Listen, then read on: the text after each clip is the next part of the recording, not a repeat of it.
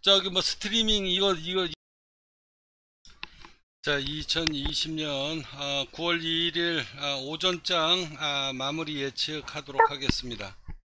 자 지금 시간 이후로요. 주가가 더 올라갈 확률이 굉장히 높기 때문에 아, 잘 지켜보시기 바랍니다. 자 지금 이제 어, 얘가 기술적으로 반동 구간이 오잖아요 지금. 자, 아직 추가 상방이 2352까지 얘는 지금 올라오겠다는 이야기이기 때문에 자 오전장은 여기에서 거의 마무리가 될 거예요. 그리고 난 다음에 이제 오후장 싸움이 다시 한번 시작이 되는 구간인데 오늘 콜옵션 어, 선물 매수 같은 경우는 무조건 전략적으로 이 구간이 깨지면 오늘 저점이죠. 오늘 전 저점이 깨지면 엄청나게 어, 주가가 밀릴 수 있는 그런 이제 하방 포지션이 쌓이기 때문에 무조건 여기서 방어를 해서 2352까지는 상방을 쳐줘야 돼요. 그리고 난 다음에 이제 오후 주가 흐름이 어, 전략이 이제 다시 쌓이기 때문에 여러분들 지금 구간은 올라오시면 매도로 때리는 거는 굉장히 위험합니다. 그래서 조금 더 장을 한번 지켜보시고요.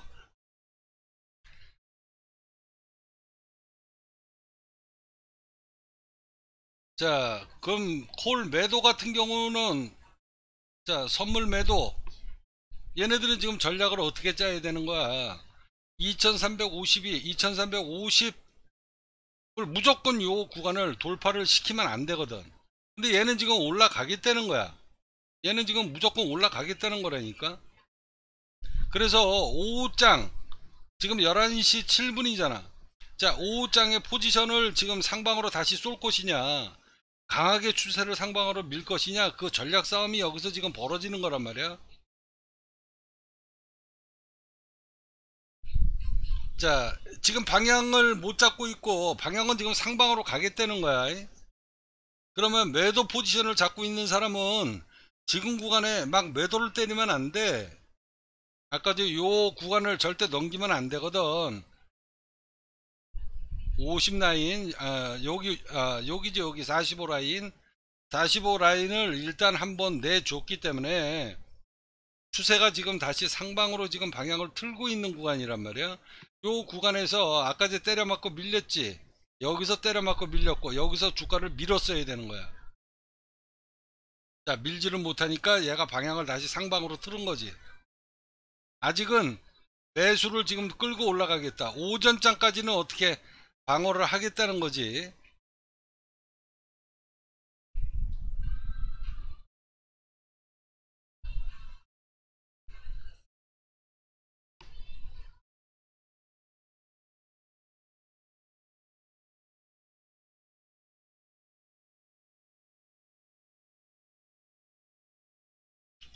자 우리가 선물 매수를 하거나 콜옵션을 매수를 하거나 할 때 전략을 짜고 들어가야 돼요 전략을. 자 지금은 올라가겠다는 구간입니다. 그래서 오전 싸움은 여기에서 그냥 끝날 거예요 아마. 자 그리고 난 다음에 이제 추가 상방을 치느냐?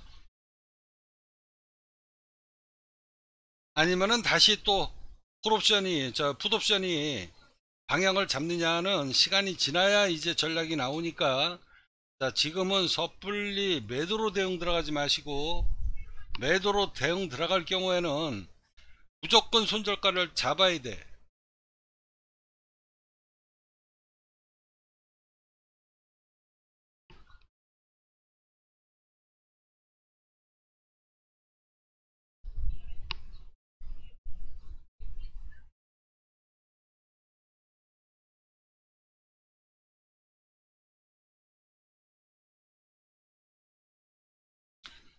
자 매도로 대응하는 사람은 2350을 내주면 안 된다 더 이상. 여기서 무조건 밀어야 돼.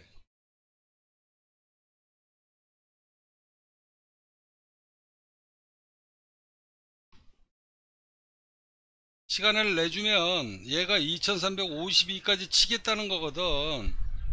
그래서 여기서 그냥 주춤주춤 주춤거리면 안 된다는 거야 자 그러면 매수를 하는 사람들은 어떻게? 무조건 여기서 뚫고 올라가야 돼.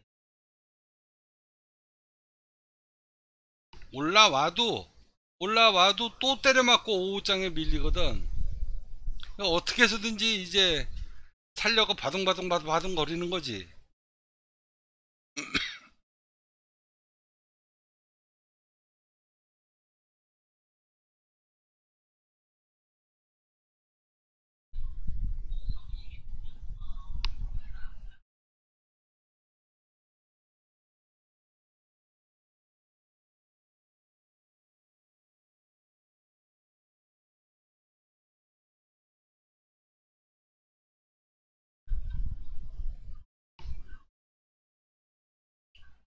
자 주가가 방향을 못 잡고 준주준주충거리고 그럴 때 그럴 때 바닥에서 아까 제 매수 들어갔어야지 이런 구간에 매수 들어가는 건 이거 많이 못 먹거든. 그렇기 때문에 바닥에서 매수 들어가는 거고 자 홀딩하는 구간도 마찬가지야. 홀딩하는 구간도. 자 지금서부터 매수를 잡을 것인가 매도로 잡을 것인가 아니면 레버리지를 투자할 건가 인버스를 투자를 할 건가 이렇게 계획을 잡고 있는 분들은요 자신 없는 사람들은 기다리세요. 지금서부터 어, 오전장이 끝날 때까지는 기다려야 돼. 어중간한 구간에 들어가서 잘못해가지고 한 방에 죽는다는 거지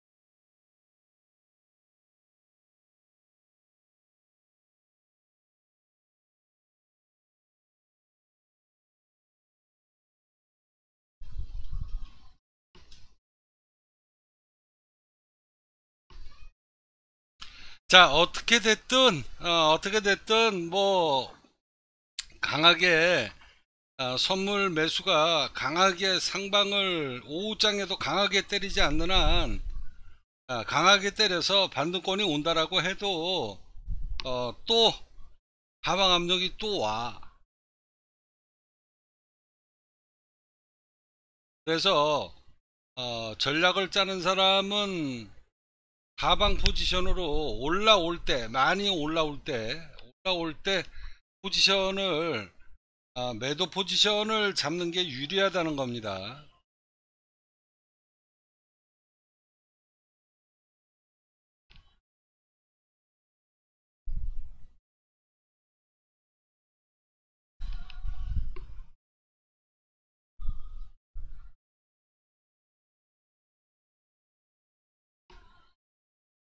자, 2350 올라오지.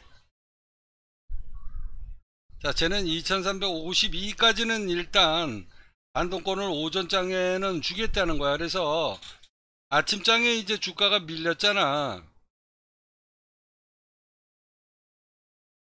자, 올라왔다가 주가가 밀렸지. 그래서 다시 지금 회복하자는 거야. 얼마까지? 2352까지. 그리고 난 다음에 이제 뚫고 올라가느냐 못 올라가느냐는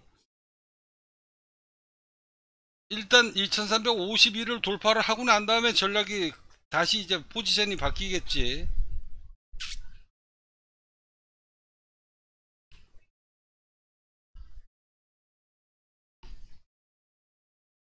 자, 2351. 자, 5분 안에 2352를 뚫어야 돼. 5분 안에.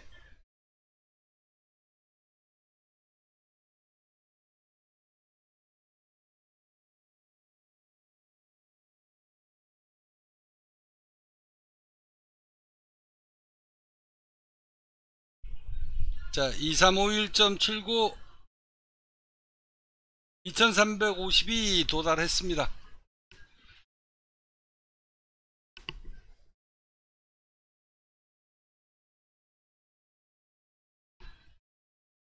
(2352.90)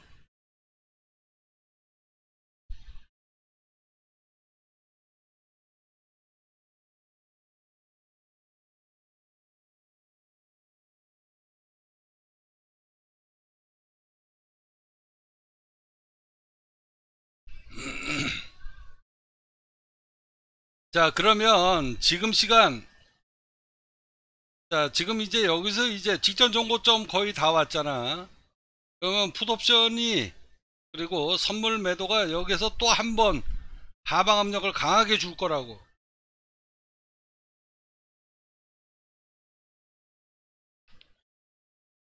자 이제 지금 시간 이후로 어, 주가의 방향이 다시 하방 압력으로 갈 거냐 추가 상승으로 갈 거냐 이제 다시 이제 결정이 나는 시간입니다. 그래서 아직까지는 조정이 와도 얘가 추세를 죽이려 그러면 이거 한 방에 죽여야 돼. 한 방에. 지금 시간서부터.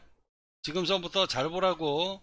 얘 한 방에 못 죽이면 얘 다시 기어 올라오거든. 그래서 이 구간에 한 방에 밀어버려야 된다고. 방법이 없어. 어, 돈 갖고 싸우는 시장에 돈질밖에 더 있니?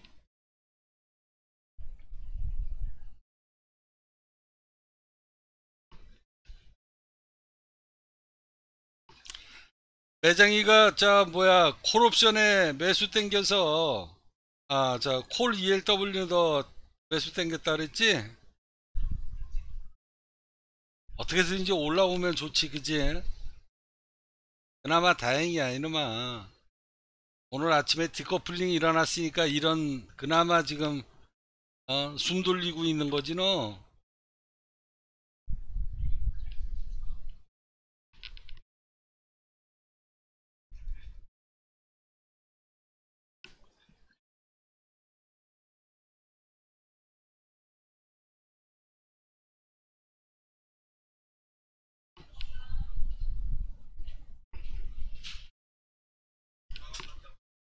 음.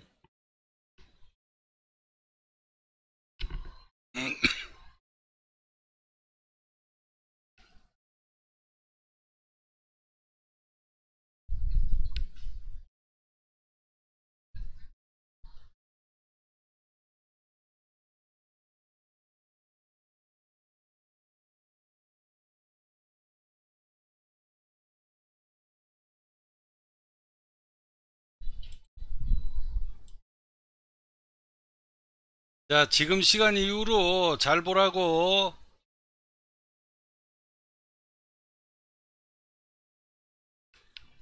자, 어렵게 생각하지 말고 더 이상 주춤주춤거리고 못 올라가잖아. 그러면 매도, 매도로 대응하는 사람은 오늘의 고점, 오늘의 고점을 그냥 손잡고 잡고 매도를 때리든가, 자, 직전 정고점, 어, 이거 매트가 안 돼. 이걸 보고 그냥 손잡고 잡고 매도로 때리는 거야. 때렸다가 실패하면 실패하면 손줄 치면 되는 거고.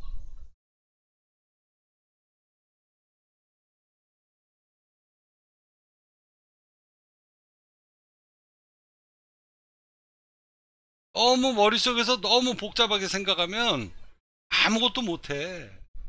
내가 돈을 먹기 위해서 들어왔다가 들어왔다가 전략이 바뀌어버리고 포지션이 바뀌어버려서 주가가 방향을 상방으로 틀면 내가 여기에서 매도로 때렸는데 주가가 상방으로 틀면 아 이거 추세가 바뀌는 거거든 지금서부터는. 그러니까 손절가 잡고 매도 때렸다가 확인하고 뚫고 올라간다 그러면 아 그냥 몇틱. 자 여기서 성공을 해서 전저점을 깨고 내려가면 홀딩. 자 크게 먹느냐 적게 먹느냐 싸움이거든